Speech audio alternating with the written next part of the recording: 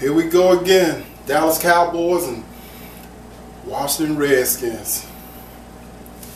I'm gonna be nice this time because I'm not gonna call call you no name. I ain't call you no dead skins, I ain't call you no foreskins. You know, dreadskins. Not gonna use none of those names. I got you know too many family members that Redskin fans, and so uh, kids like them. So anyway, I'm gonna get straight to the point. Cowboys have a better offense.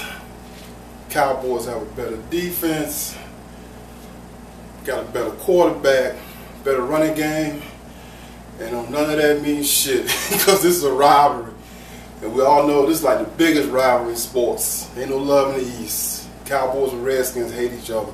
So just throw all, out, all that out the window. of course, unless it was the 90s. Emmitt Smith was still here. But anyway, throw that out the window and um, see what happens. Um, I'm still. I think. I, I, think the Cowboys are going to win though. Probably be something like. Uh, I don't know.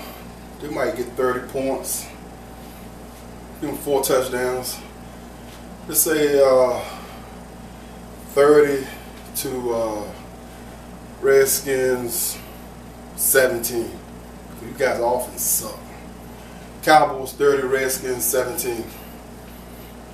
NFC East still toughest divisions. Peace.